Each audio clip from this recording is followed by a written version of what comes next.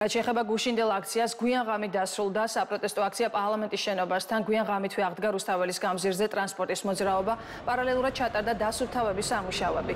უცხოური გავლენის გამჭვირვალობის შესახებ კანონპროექტის წინააღმდეგ აქცია გუშინ 19 საათზე რესპუბლიკის მოედანზე დაიწყო. მოგვიანებით კი მომიტინგეებმა მსვლელობით პარლამენტის მიმდებარე ტერიტორიაზე გადაინაცვლეს. აქციის მიმდინარეობისას რამდენჯერმე დაიწყება ვითარება პოლიციასა და აქციის მონაწილეებს შორის ადგილზე მობილიზებული იყო სპეცრაზმი და წყლის ჭავლის მანქანა.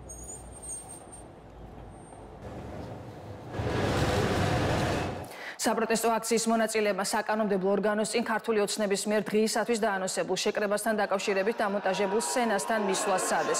მომიტინგეების და პოლიტიკოსების ნაწილი შეეცადა ჯებირი გაერღვია, რამაც დაპირისპირება გამოიწვია. სცენის სიახლოვეს მობილიზებული იყვნენ სამართალდამცველები, რომლებიც პროტესტის მონაწილეებს კორდონის გარღვევის საშუალებას არ აძლევდნენ. დაპირისპირება მოხდა გიორგი ვაშაძესა და სამართალდამცველებს შორისაც აქციის მონაწილეები სამართალდამცველების მისამართით სხვადასხვა ნივთს ისროდნენ. სამართალდამცველებმა მომიტინგეების მისამართით ციცაკის სპრეი გამოიყენეს. დაპირისპირება გამოიწვია თვითონ პოლიციამ, იმიტომ რომ აქ მშვიდობიანი მომიტინგეები იყო და აი ამ ჯებირსეს კი არ შეხებიან ისეთი მშვიდობიანი აქცია იყო და რისთვის გამოიყვანეს სპეცრაზმი და წყლის ჭავლი კაციშვილმა არ იცის. ჯობია მოусმინონ მოქალაქეებს და გაიწვიონ ეს კანონი. აბსოლუტურად ყველანაირი გაფრთხილების გარეშე ქართულმა ოცნებამ გამოიყვანა სპეცნაზი, წყლის ჭავლი და რობოკოპები. ამას მოყვა ის, რომ საზოგადოება დაიძაბა. ორდონის გარღვევას ცდილობდნენ თუ არა აქციის მონაწილეები მე მსგავსი არაფერი დამინახავს. ისეთი მშვიდობიანია ეს ხალხი, რომ მეტი მშვიდობიანობა არ შეიძლება რა პირდაპირ გეუბნებით რა. თუ ვინმე ეხლა არის აგრესიული და პროვოკაციული არის ქართული ოცნება კომიტეტის ხდომა უნდა თავის ძალით ჩამოყვანილ ხალხთან ერთად რო ჩაატაროს. აგ ეგ არის პირდაპირ პროვოკაცია ამ ხალხის პროვოცირება არის ეგ. და მაგაზე უნდა აგონ პასუხი. საკულტო ნაგებობაა თუ რა არის ვერ გავიგებ.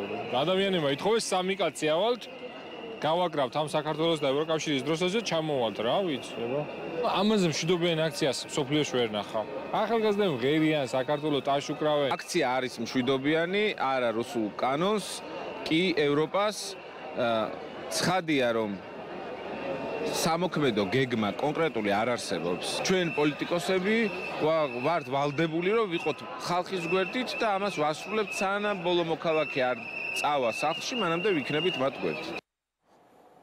აქციაზე აგრესიის სამიზნე გახდა რამდენიმე მედია საშუალება, მათ შორის ტელეკომპანია იმედის და პოსტივის გადამღები ჯგუფები. აქციის მონაწილეები ტელეკომპანიების წარმომადგენლებს მუშაობის საშუალებას არ აძლევდნენ და სიტყვერ შეურაცხყოფას აყენებდნენ. იმედის ჟურნალისტი ლინა პოღოსოვა, რომელიც პარლამენტის შენობასთან ჭყლეტვაში მოყვა კლინიკაში რჩება.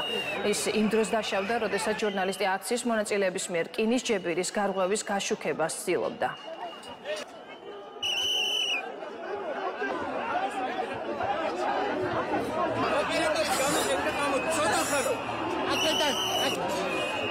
ოპერატორი ამის ხა მოდი შემოდი ადი დაისო ადი